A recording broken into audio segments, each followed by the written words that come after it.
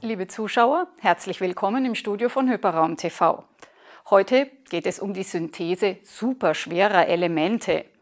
Davor zum Einstieg erst einmal ein paar Facts and Figures mit ein paar Grundlagen der atomaren Welt.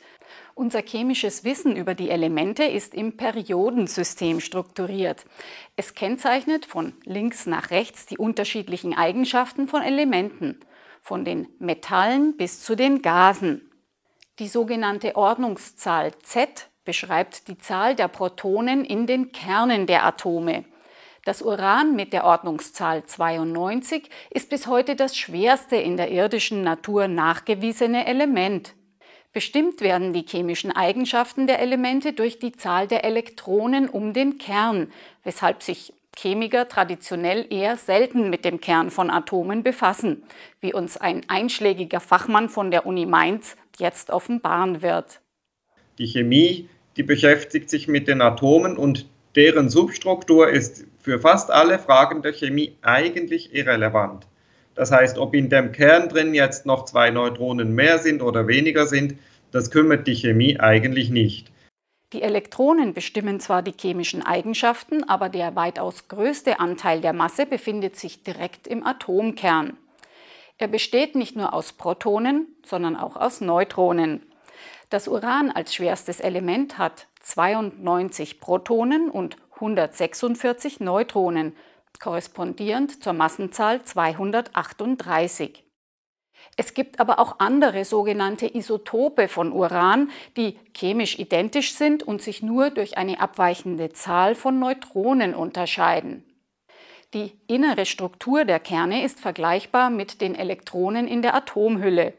Sowohl Protonen als auch Neutronen sind in Schalen angeordnet. Sind diese Schalen im Kern aufgefüllt, erzeugt das höhere Stabilität der Isotopen.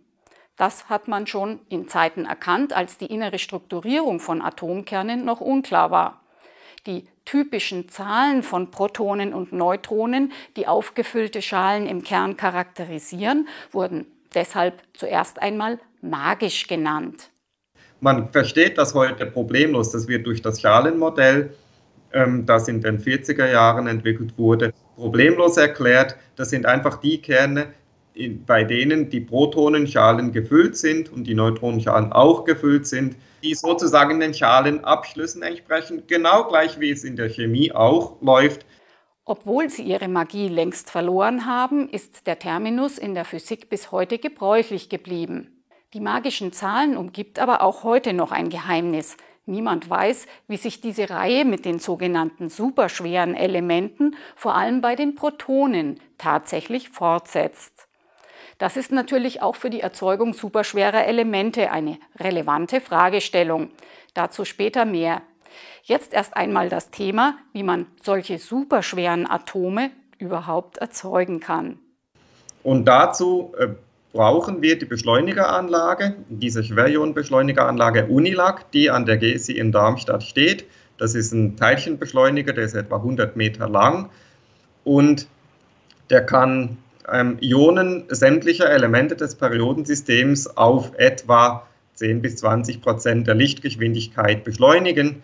Das ist für uns ideal, weil wenn ein Atomkern diese Geschwindigkeit hat und dann auf einen anderen Atomkern zufliegt, ist er schnell genug, um diesen auch zu treffen. Der Kern ist ja positiv geladen, der andere, der getroffen werden soll, auch. Die stoßen sich also nach Coulomb ab und man braucht ein bisschen Energie, um diese Abstoßung zu überwinden. Das sind eben diese etwa 10 Prozent der Lichtgeschwindigkeit. Das kann also dazu führen, dass sich ein solches Projektil, nennen wir das, das vom Beschleuniger beschleunigt wird, auf einen Targetkern trifft. Und wenn wir Glück haben, fusionieren die beiden, verschmelzen miteinander. Und jetzt ist es eine schlichte Addition, welche Sorte ich beschleunige und auf welche Sorte ich schieße. Will der Chemiker heute also superschwere Elemente herstellen, dann muss er sich zwangsläufig auch mit der Welt der Atomkerne befassen. Nehmen wir als Beispiel Element 114, die traditionell ähm, magische Zahl, die längste Stabilität. Da nehmen wir beispielsweise Calciumionen. Calcium ist Element 20, das ist auch eine magische Zahl. Wir nehmen das Isotop Calcium 48, das hat 28 Neutronen, auch eine magische Zahl. Das ist also ein doppelt magisches Projektil und das ist hilfreich. Das macht diesen Prozess wahrscheinlicher, dass die Verschmelzung zum Element 114 auch gelingt. Und schießen müssen wir Element 20 natürlich auf Element 94, das ist Plutonium. Da brauchen wir das Isotop Plutonium 244. Das ist ein relativ exotisches Plutonium-Isotop. Es ist das neutronenreichste, das wir in großen Mengen zur Verfügung haben. Und mit großen Mengen meine ich ein paar Milligramm. Also nicht kiloweise, aber ausreichend, um daraus eben ein Target herzustellen, auf das wir mit dem Ionenstrahl schießen können.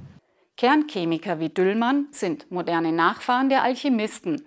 Was Paracelsus in seinem mittelalterlichen Labor im 15. Jahrhundert noch nicht gelang, können sie heute mit solchen 100 Meter langen Beschleunigungsanlagen bewerkstelligen, wie hier am GSI.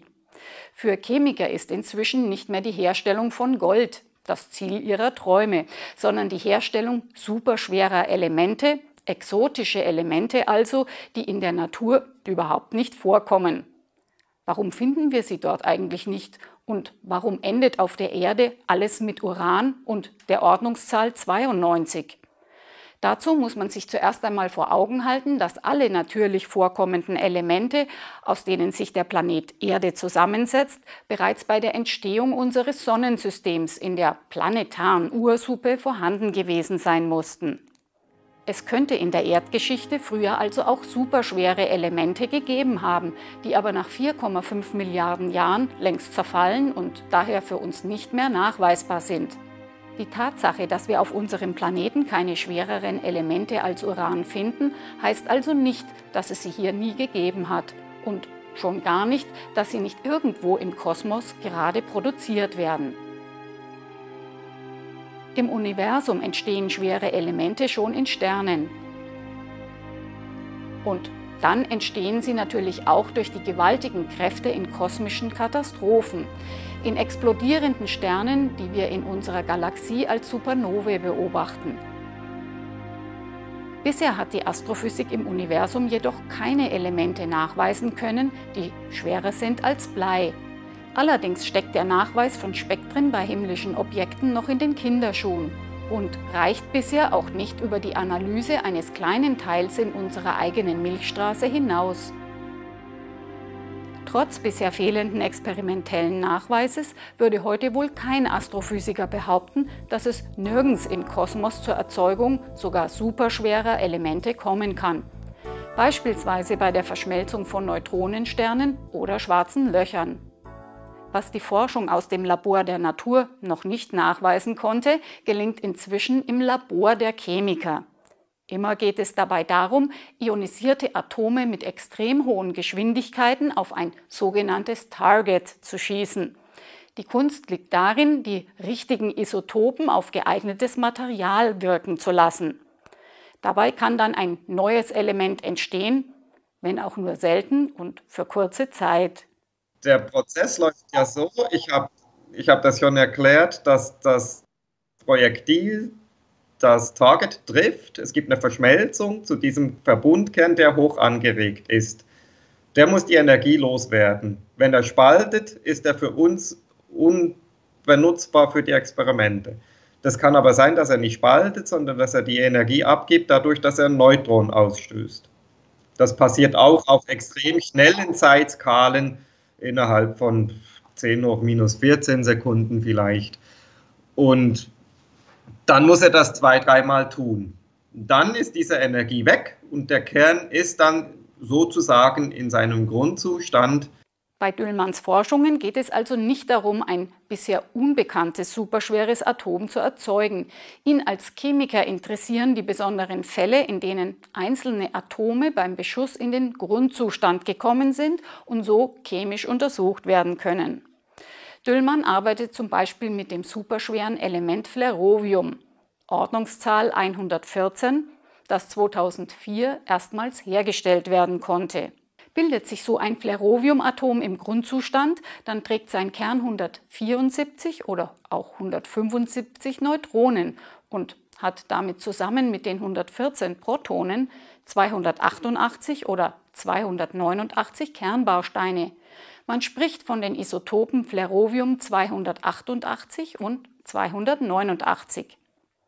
Der Aufwand, solche Atome im Labor herzustellen, ist sehr groß und der Nachteil dabei, es entstehen nicht nur sehr wenige davon, sondern sie zerfallen dann auch extrem schnell, etwa innerhalb einer Sekunde.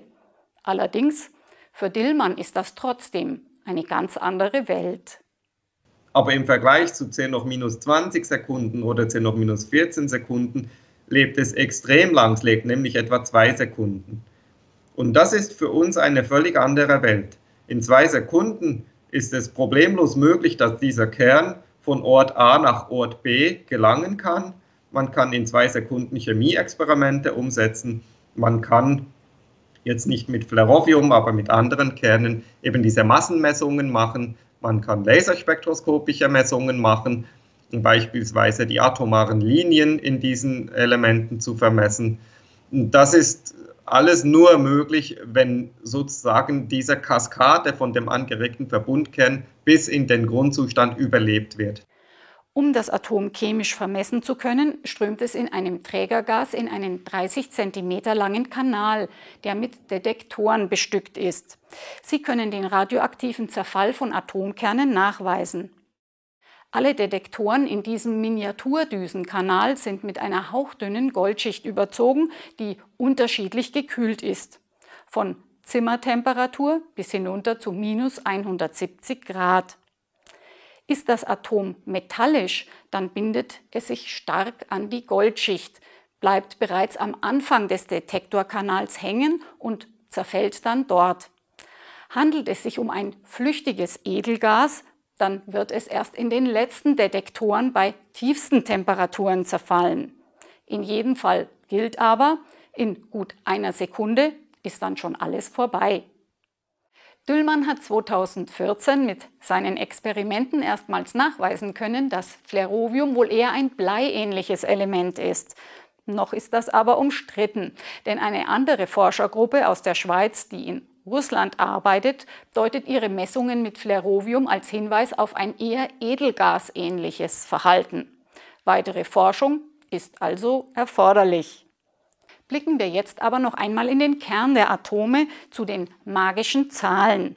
Wie ich eingangs schon gesagt habe, ist offen, wie weit es bis zur nächsten magischen Zahl ist, also wo sich die nächste Schale in den Kernen schließt. Diese magische Zahl verheißt für die Zukunft stabile Elemente, salopp auch Insel der Stabilität genannt. Diese Elemente könnten ungewöhnliche, auf der Erde bisher unbekannte Eigenschaften haben. Wir wissen, ich habe die Zahlen schon genannt, 50, 82, das sind magische Zahlen für die Protonen. Irgendwann wird die nächste Schale, die jenseits des Bleis aufgefüllt wird, auch wieder abgeschlossen sein. Und frühe Modelle haben gesagt, das ist bei 114 der Fall. Neuere Modelle sagen, hm, vielleicht ist es erst bei 120. Und wieder andere Modelle sagen, hm, vielleicht ist es erst bei 126 Protonen der Fall. Das wissen wir im Moment experimentell nicht, wo die nächste Schale abgeschlossen ist. Wir wissen auch gar nicht, ob das so eine einzige magische Zahl ist oder ob es nicht eher ein ganzes Gebiet ist, das von dieser äh, sag mal, von dieser erhöhten Stabilität dann profitiert. Das wäre dann diese Insel der Stabilität. Dann gibt es die Neutronenschale, die auch irgendwo abgeschlossen sein wird. Dort erwartet man eigentlich fast unisono, dass 184 die nächste Neutronenschale sein wird, also die nächste magische Zahl. Nun scheint die Frage, ob ein Atom zwei oder zehn Sekunden lebt, nicht sonderlich spannend. Aber der Forscher gibt da eine viel weitreichendere Perspektive. Dass die zwei Sekunden nicht das Ende der Fahnenstange sind, das wissen wir. Da sagen alle Modelle, wenn ich noch ein Neutron mehr dran kriege, dann werde ich eine noch längere Lebensdauer haben und so weiter. Aber wie hoch geht das? Geht das bis zu einer Stunde oder bis zu einem Tag oder bis zu einem Jahr oder bis zu einer Million Jahre, zu einer Milliarde Jahre? Das wissen wir nicht. Eine Milliarde würde ich jetzt vielleicht nicht gerade erwarten, aber es gibt auch Modelle, die sagen das vorher. Wenn dem so ist, dann kann man natürlich darüber nachdenken, schaffen wir es, Produktionsmethoden so weit zu verfeinern und zu verbessern, dass man daraus äh, größere Mengen herstellen kann. Weil jedes Atom, das ich dann herstelle, wenn das eine Million Jahre Halbwertszeit hat, dann wird der aller, allergrößte Anteil im Laufe eines menschlichen Lebens nicht zerfallen. Damit sind wir dann endgültig im Bereich der Science Fiction angekommen. Düllmann selbst fasziniert zwar auch die Insel der Stabilität und die damit verbundene Hoffnung auf die Entdeckung bisher unbekannter Materialeigenschaften, aber der Blick des Experimentators zielt zuerst einmal auf das Jetzt und dann, wie sich das für einen gediegenen Grundlagenforscher wohl auch gehört, auf die ultimative Frage, ob es in unserem Universum ein Ende des Periodensystems gibt und wenn ja, wo es liegen könnte. Meine Studiosendung schließt heute mit dem Originalton aus der Wissenschaft. Ja, grundsätzlich ist eigentlich immer das nächste Experiment das Spannendste, weil man sich am intensivsten damit beschäftigt und weil man sehr viel Energie und Kraft und Zeit reinsteckt. Aber natürlich denkt man auch ein bisschen in größeren Zeiträumen. Und interessant ist durchaus die Fragestellung, welches ist das schwerste Element, das überhaupt existieren kann.